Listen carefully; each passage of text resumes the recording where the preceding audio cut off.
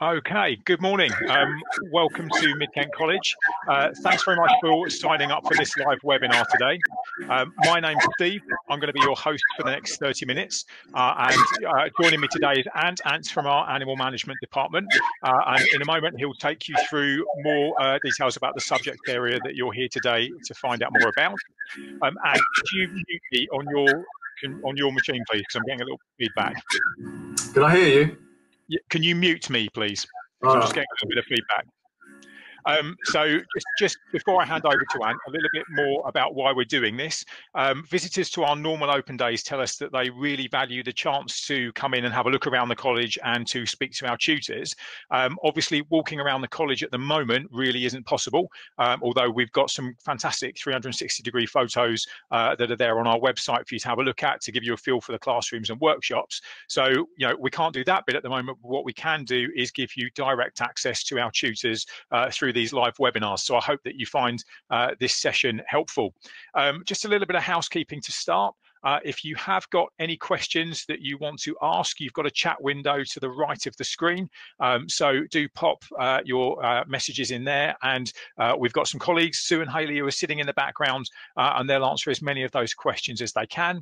Um, I might put some of those questions direct to Ant a little bit later on as well. Uh, and if we don't have the opportunity to answer your question live in the session today, please don't worry, and we'll email you once we've finished. Now, up in the top right of the screen as well, you'll see a tab called polls. If you can click on that for me, please. Uh, and if you could answer that question for me, please, just to let me know who we've got on the call today. Uh, if you could let me know if you've applied for an animal management program or not, please, that would be fantastic. Okay, so it's pretty much what I expected. We've got a mix, and we've got some people who are here who've applied for programs already, uh, and some who are here to find out a little bit more uh, about them. So if you could just factor that in as you're talking, please, that would be fantastic. Um, I want to start this morning uh, just by giving you uh, a quick welcome from our principal, Simon Cook. So uh, I'm just going to share Simon's video with you, and I'll be back in a second. Hello there, I'm Simon and I'm the principal of Mid Kent College. It's great to be able to talk to you and uh, I so wish I, was be I would be able to talk to you in person but virtually hopefully your opportunity to get to know a little bit more about the college will help you with your decisions that you need to make. So over the next 30 minutes in this virtual open event you're going to have an opportunity to meet one of the tutors from your chosen subject area. Really make the most of that time to find out what it means for you. Um, ask some questions. No question is a silly question. Please ask whatever question you've got. Take some notes, but make sure that you've got the info that you really need to make that decision about what you want to do in September. And if you're really not sure what you want to do, then you're not the only person. There are lots of people every year that we see. It won't be any different the current year under these current circumstances who really don't know what they want to do. There might be even some of you who are thinking you really don't know what to do because you see what's going on in the world and you're not quite sure what job, prospects there may be. By the time you finish your program, the world will be a different place again, and there will be many more opportunities then that may not exist now. So talk to our staff about it. And also don't be frightened if you don't know what you want to do. Have a look at some of our other sessions. Come into other sessions and see. What's really important, and one thing I say to everybody who comes into the college, you must feel comfortable with the people that you're going to be sharing your next few months and years with.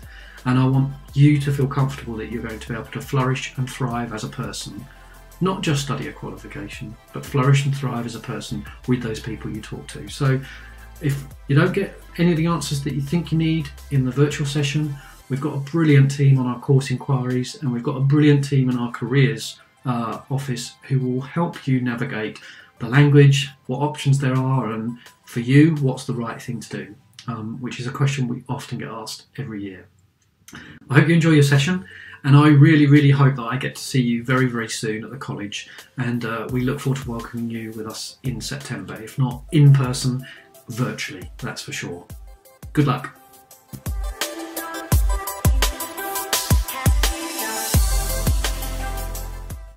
Okay, fantastic. Thanks very much to Simon for filming that for us. Uh, I'm just going to uh, share your slides, Ant. So uh, they're there for you. I'll let you take control now. Uh, and obviously, as Haley's just posted into the chat, if you've got any questions about what Ant's talking about, then feel free to ask those and we'll do what we can to help you. But over to you, Ant. Okay, is um, on the slide there, you can see there's multiple levels um, level one, level two, and level three. So essentially, we'll be placing you on the most appropriate course for your level of GCSEs as you come out of school. So I want to give you an overview of each level briefly, uh, but first of all, just give you some uh, comfort zone in whatever your starting point is. We're going to put you on the best starting point, the best course for you based on your level um, to allow you to be comfortable and hopefully to progress. So you can see some of my bullet points there. Really, what we care about most in animal care is um, not particularly where you start, it's where you want to go. So progression for us is key. So getting you on the right uh, course in the first place is an absolute key goal. And then looking at developing you to progress. So whether it's a level one progressing into level two, a level two progressing up to level three, many of our students have been with us for four years. So progression for us is key. So progression should lead you to your career goal. So hopefully those of you sitting here listening to this um, certainly have a real love for the subject. A love for animals obviously is key, but an understanding of where the subject can lead you, whether it would, whether it's going into something like veterinary nursing or going into animal care for sanctuary work, or maybe you're a budding conservationist, so you care more about the state of the planet and where animals sit in the wider world. So having a career goal in the first place, it might be that you know exactly what you want to do at this point and you're never going to change from that. We get students coming in with that that ethos, they never change. So they come in, they're going to be a vet nurse and then now that they're now vet nurses. Some people have no idea where it's going to lead.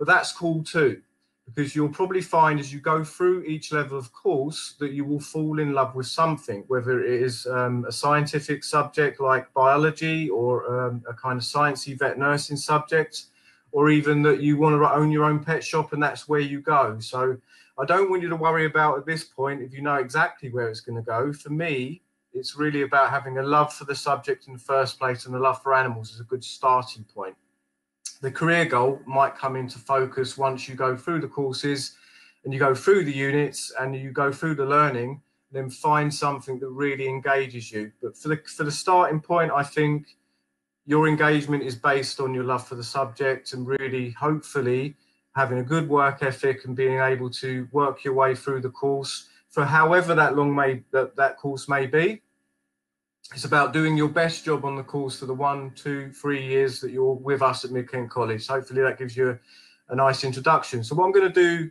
now is talk about each independent level. Um, you can see there's there's um, a level one, a level two, and a level three. So, essentially, the level one we'll go on to next. So, the level one is a what we class as an introductory diploma. Um, and on that course, you're going to study a wide range of different units. Um, some units are core, things like working with others and researching a topic. And they're there really to develop your, your skills in, um, in order to aid your progression. So there's a lot of core units there that develop you as an individual.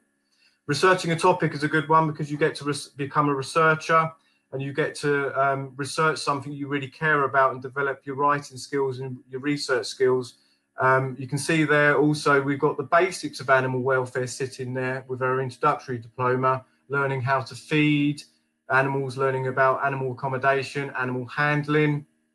And there's also a unit on the level one diploma, which is a lovely introduction into science. Animal care at its core is a science, and I'll come on to that again a bit later when I go to the level twos and the level threes, which are much more scientific.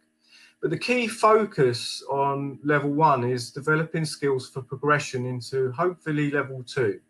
So level two is where we're going to go next. Hopefully it gives you a nice introduction on the level one program. It's a one year program, that one, leading hopefully into progression to level two. Currently we have two level twos running um, next year. Um, essentially, one of them doesn't have exams and one of them does have exams. So I'm going to talk mostly about the one that does have exams because if you're coming in from school, it's highly likely uh, that you are going to progress on to our level two technical diploma.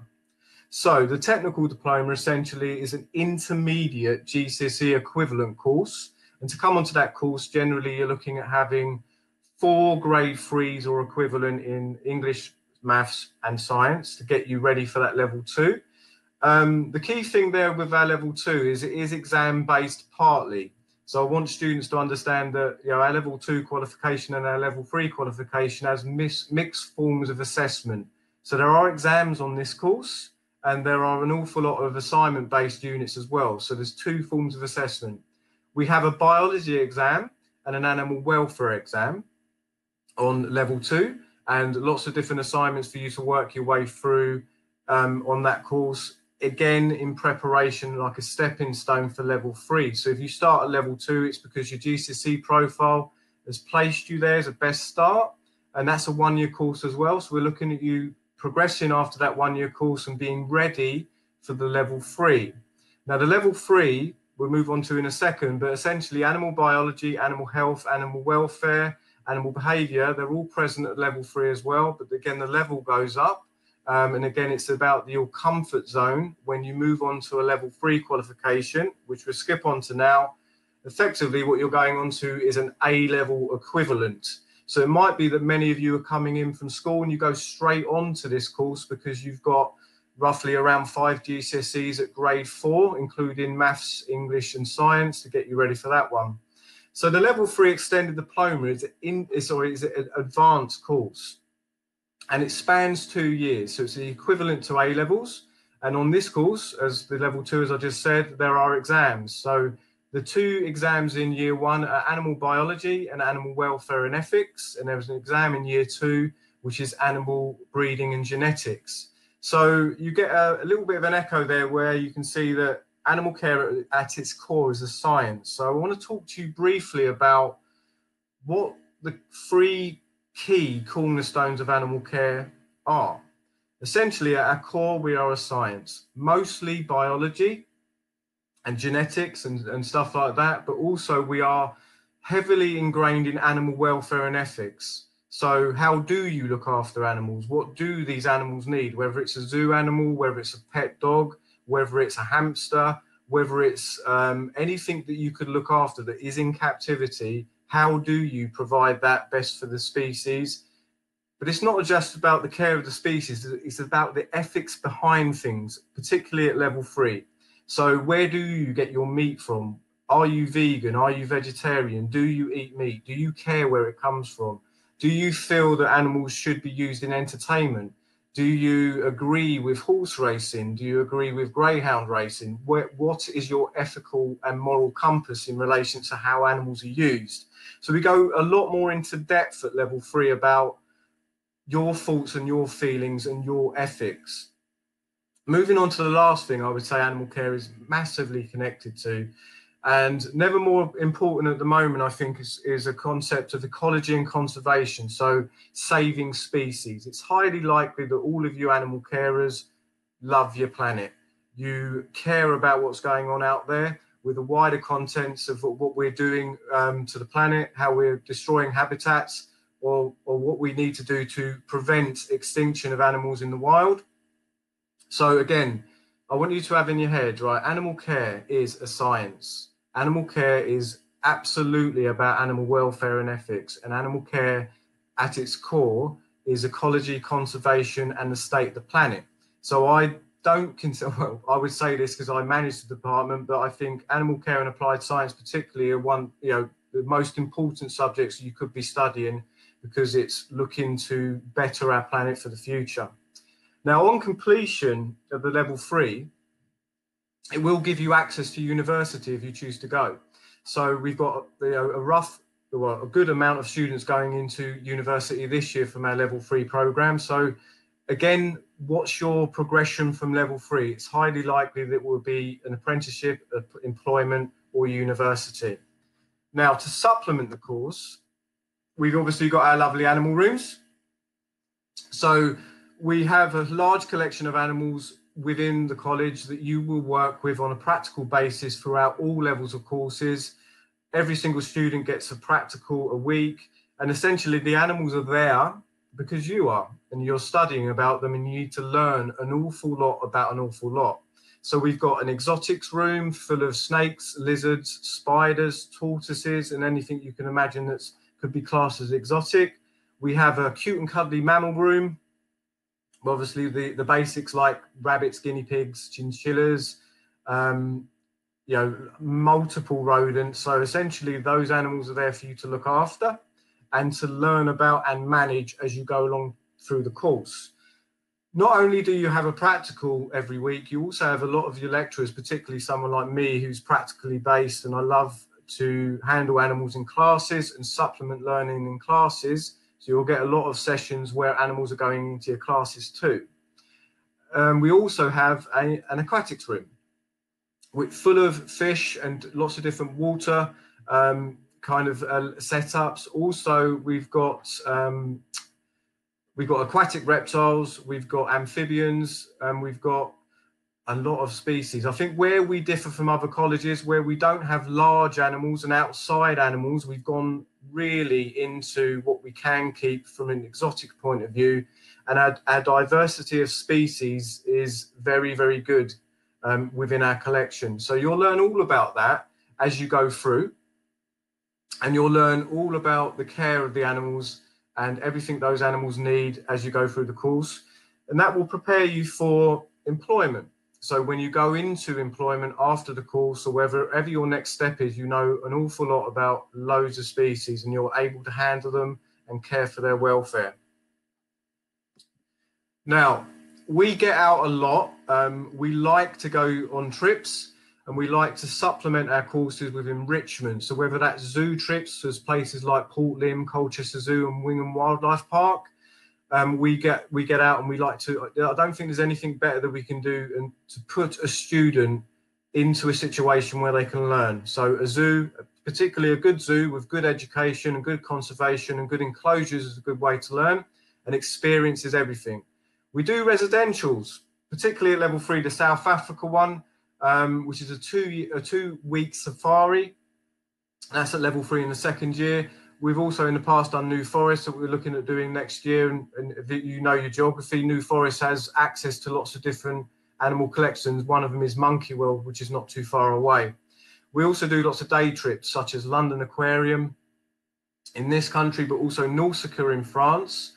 And we developed quite good links with visiting speakers. Um, you may or may not be aware that Medway now has officially its first ever zoo. It's called Fenn Bell. It's Fenn Bell Conservation Centre, and we're linked with them also with places like Kent Owl Academy. They've come in to do talks on work experience and the work that they do. And we've had the cats protection in and many more. So we get lots of visiting speakers in to supplement your lessons as well as going out quite a bit as well. Okay, hopefully that gives you a flavour of what we're about. In relation to career opportunities and progression, they are very, very wide and very, very vast it's highly likely when you come into animal care that you might not know what you want to do. A love for animals sometimes in the first point part, part is enough. Mostly, um, we do get a lot of veterinary nurses, but increasingly students are moving into um, wildlife and conservation, animal biology, zoology, animal behavior degrees, whether it's going on to university to, sub, uh, to, to, study these subjects or it's going straight into employment afterwards, um, things like zookeeping, kennels and catteries, animal welfare officers, particularly animal sanctuaries, because there's a lot of them now, because animals do need uh, care and they do, do need looking after. We also have a link into veterinary science. It is possible from the level three to go to study to be a vet across the last 10 years, I would say we've probably got about five or six students have gone that pathway. So it is doable. It's very difficult, but it is doable. So again, looking at these career and progression opportunities, it may be something that you, considered in the past. It may be something you've never considered before. But again, think about where you want this to end because it's going to be a journey. It could be a one year journey, it could be a three or four year journey. But hopefully that gives you a flavor of where our students end up. And hopefully it gives you an understanding of what we're about and, and the kind of experience you have within animal care at Mid Kent College. Okay. Is that okay, Steve? I want to pick up on one from the chat first of all, if that's okay. Um, so you talked about uh, the exotics room. And we've got a question, uh, yep. which is, what about birds? Do we do anything with birds? We've got um, some bird provision. It's quite a difficult one to have um, because we don't have outside provision, but we do have bird provision. We've also got a link into Kent Owl Academy, which is the uh, specialist on owls and birds of prey. So what we're looking at doing next year is using them a little bit more. Where if we've not got access to birds in our college collection, we're trying to get access to animals that we don't have externally. We do have a parrot called Charlie, who's um, a lovely little parrot um, but yeah, we get we we've got quail on campus, we've got parrots on campus. So essentially, we do have some provision, but where birds particularly um, are difficult to house, we will go external for that. Okay, that's brilliant. Thank you. Um, I've got a couple of questions for you as well, Ant, if that's okay. And that just that just gives everybody else listening a chance to think about anything else yeah. that they want to ask you. Um, you've talked about uh, where our students have progressed onto when they finish at the college. Um, I guess I'm yeah. interested in, in, you and your colleagues in the animal management department. Uh, you know, we pride ourselves on the fact that our tutors yeah. have got industry experience and know what it's like to work in these sectors. So, can you tell us a little bit about your background, please? Yeah. Well, my background started as a student when I was 20. Um, I went to Canterbury College when I was 20 and did the level three that I just spoke about and I was lucky enough actually that my my specialism was always handling. I, I, you know, I was a good animal handler, and that led into a job role at Canterbury College, becoming um, a trainer demonstrator, training their students how to look after, uh, how to ma- handle the animals. So essentially, I started as a, a, trainer demonstrator to students, and that led into um, teaching. So the practical teaching le- went into formal teaching. So my background was hands-on. Many other um, members of uh, my team are, are, more scientific. Their background has been going to university straight after and then coming to teaching afterwards. So what we do have actually within our team is a lot of people that have got very different backgrounds, but very different specialists in certain things, like whether it's biology, in the case of Kate, or whether it's Angela with a love for horses, whether it's myself with I'm a bit of an exotics nut. So it's for me, it's snakes, lizards, spiders, and all the creepy crawlies and the weird and wonderful things you could possibly imagine, um, and the care of. So a lot of my my teachers as well, they started as animal carers. So not only are they academically uh, qualified and, and qualified in teaching, but they've actually been there, seen it, and done it, which I think is key. So you get you get a different experience from the different lecturers depending on their specialisms. Um, we've got Joe, who's very much into her aquatics um, and her fish care. We've got Louise, who's into her biology and animal welfare. Um, we've got, you know, again, Yavana, who's into her biology, but also into the ethics around stuff as well. So you get, you know, you get a lot of different things from a lot of my team. So hopefully that gives you an understanding of where we've come from. But fundamentally, I would say a lot of us are animal carers by nature, and we're still looking after quite a lot of stuff. And our background, a lot of the time, has come through doing it. No, that's brilliant. Thank you. Um, in a minute, in a minute, I'm going to come on and talk about uh, study programs uh, and what that means. But uh, in terms of English and maths, in particular, how does that fit in with what you do in animal management?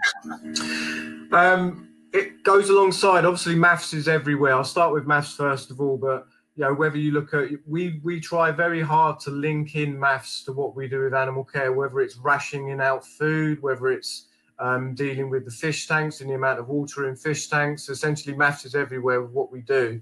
But more so, I think English is the key one for developing skills as you go up through levels because you could be the best animal carer hands on you know, practically.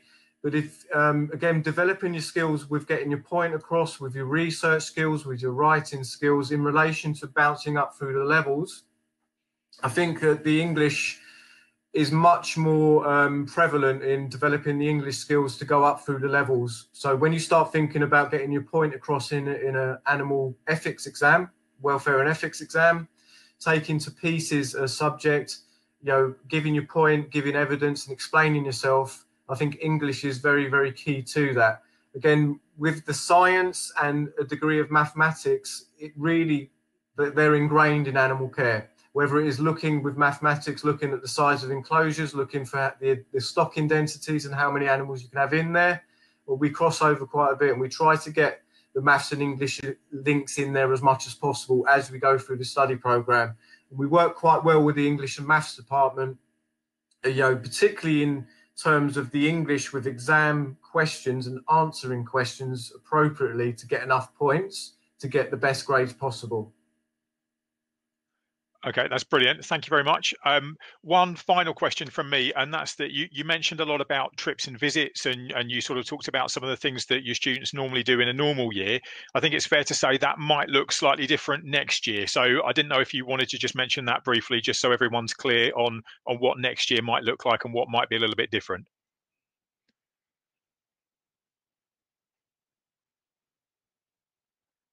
One of the things we're looking at that is going to be most difficult to deliver uh, with social distancing would be the practicals.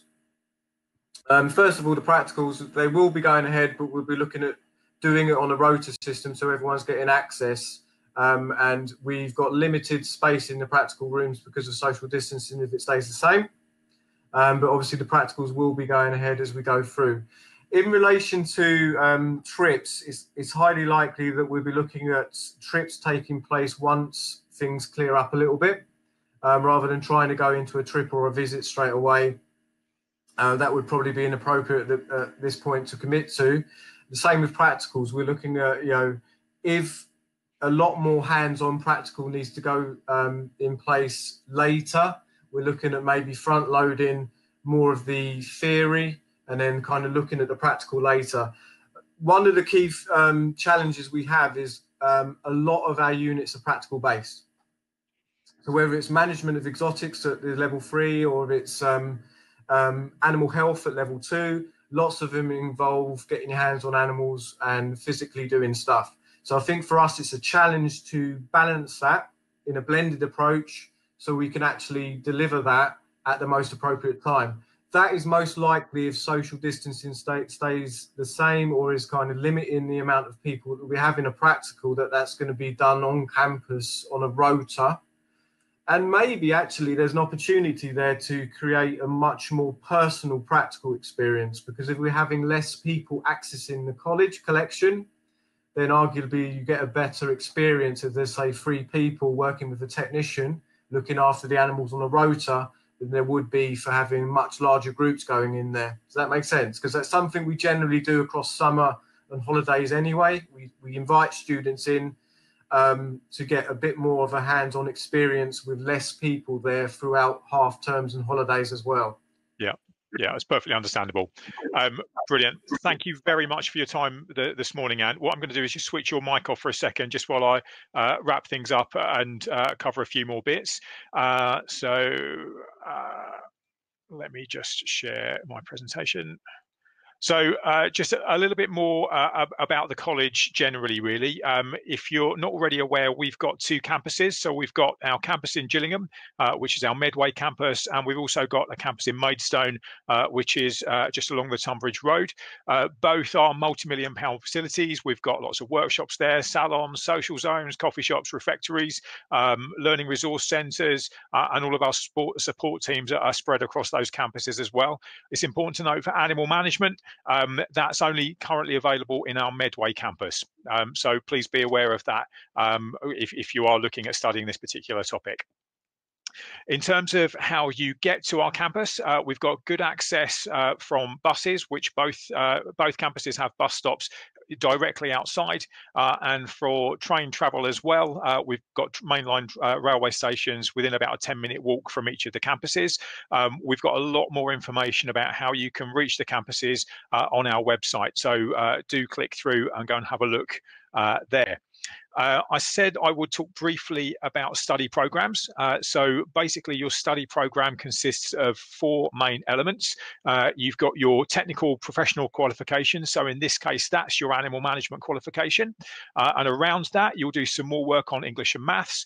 Uh, you'll do some personal development work as well. And you'll also complete an industry placement. Now, depending on what you've already achieved, your English and maths classes might be uh, functional skills. It might be a retake of your If you didn't quite get the results that you were hoping for, uh, or it could be some stretch and challenge, really to help you keep building on those English and math skills uh, that you've developed while you've been at school. Um, when you have your personal development sessions, you'll cover everything from uh, protecting your own health and well-being and mental health, uh, right through to having a work-ready interview to help you get ready for the employment that comes after your program. Um, and you'll also have an industry placement where you'll put the key skills that you're learning on your animal management program into practice in a real work setting. Uh, and you know we've got great connections with uh, lots of uh, local organisations, uh, as Ant's already mentioned, a couple of them uh, who can help us with that. But obviously, if you've got links to a relevant organisation where you can practice your animal care skills as well, um, then that will be absolutely fantastic. Um, we spoke to our course inquiries team, who are one of the uh, teams that are available to help you uh, and answer your queries at any point, really. And we asked them, okay, well, what are the most uh, frequently asked questions that, that people want to know the answers to? Uh, and this is what they gave them. So we thought we'd just cover those off quickly for you. So, how many days a week will I be in college? Um, it varies per program. And, you know, I say this uh, with reference to what Ant's already said, in that timetables next year might look slightly different from the norm. Um, you know, we have to balance uh, the number of students and staff that we have on campus at any one time to make sure that everyone stays safe, and we'll always comply with um, social distancing regulations as advised by the government. So, you know, while next year might look slightly different, in a typical year, um, most 16 to 18 year olds will be on a full time program. Uh, so that means that you will you can expect to be at college for sort of three three and a half days a week. Um, next year, that might be that some of that time is uh, on campus in in a class or in a practical session in a workshop. It might mean that some of that time is also at home being supported virtually by your tutors as well. So um, you know your individual department will advise you as to how that's going to work. If you're an apprentice, that's slightly different. Uh, normally, that's uh, one day a week at college and the rest in the workplace. Um, can you study more than one subject? Well, you know, it, this isn't like doing A levels at school where you can pick a mix of subjects. So at college, you'll focus on one uh, and you'll specialize on that technical and professional qualification, uh, and obviously with the other bits of your study program that wrap around it. Um, Ant's already mentioned that you know lots of our students do go on to higher level study at university. Uh, our programs are eligible for UCAS points, so you can get those points to help secure your uh, application. And we've got a team that can help you with your university applications as well uh, and support you through that progress um, process. Sorry, uh, and obviously you know we do a lot to prepare students to go into work as well. So if university isn't quite the route for you to get where you want to be, um, then we we do a lot of work to support you going into employment instead. Um, what do the different levels mean? Ant's already talked about that a little bit, so I'll, I'll push through this bit. But it, broadly speaking, a level two program is equivalent to GCSE, and a level three program is equivalent to A levels. Um, I think you know you've got specific entry requirements for each program that are on the website, but the most important thing is what Ant said right at the start, which is that um, we will help you find the right uh, the right program for you. So not only the right program but the right level uh, which will make sure that you get the best starting point uh, in your time at college and then we can support you through um, progressing through the levels but we'll help you get onto the right program at the right time um, how much do programs cost? Well, uh, your programs are funded uh, by the government for 16 to 18 year olds. If you are over 19, uh, then there are fees to pay, but there are concessions that are available uh, depending on your circumstances. Um, there are some programs where you'll need to buy equipment or uniform as well. Uh, now, we do have bursaries and student finance support that are available too. Uh, and if you click on the tab at the top of your screen, which is handouts, we've put a few bits and pieces in there there which you might find useful to download and have a look through. So you've got some common college FAQs. Um, we've got a guide to how to apply for your program uh, and a student finance guide there as well. So if you are interested uh, in how finance works and the support that's available to you, uh, I would uh, absolutely recommend downloading those. And then finally, is there a deadline to apply? Uh, well, we've been accepting applications for this coming September uh, since last November. Uh, so absolutely ready for you to apply now.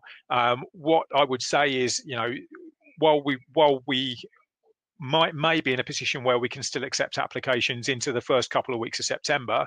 Obviously, that's going to be subject to spaces being available. So I do advise, you know, if you've decided this is the route for you, then send your application in through the website as soon as you can to make sure that you can have your telephone interview with a tutor and, and get your place secure. Um, you know, if if you do leave it too late, it's not the end of the world. Uh, but if courses are full, uh, then we'll have to put you on a waiting list, and then obviously we can only bring you onto the program uh, if we've got spaces available. Uh, just a couple more things to tell you, so please bear with me just a, a couple of moments more. Um, just in terms of life at college, we've got a lot that goes on throughout the year um, that's put together by our student engagement team, uh, you know, and, and also opportunities that other students make available for you. So, you know, we, we have live gigs from our music students, we've got pantomimes and shows from our performing arts students, uh, we've got trips from visiting speakers, as Ant's just mentioned. Uh, our students are brilliant at fundraising as well, uh, and there'll be opportunities to do some fundraising for our chosen charity of the year, which is Air Ambulance Kent Surrey Sussex.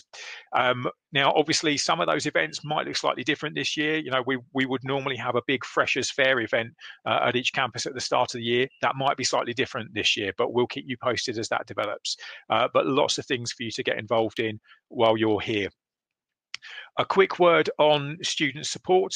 Um, you know, if you've spent the last five, six years at a particular school uh, and you're thinking about changing to a different environment now, then that can be a pretty nerve wracking step, really. Um, so, you know, my advice would be don't worry, we're here to help you. We're here to help you make that change from studying at school so that you can get the most out of your time at college. Um, I've already mentioned that we've got financial support available, and, you know, that download is there for you uh, in the download section. We've got student welfare teams at both campuses. If you need someone to talk to, we've got trained counsellors as well. Uh, and then we've got uh, support support workers who come in uh, and work with you in class. Uh, we've also got careers advisors that Simon mentioned right at the start, who are always on hand to talk you through your options and to help you with uh, your next steps after college.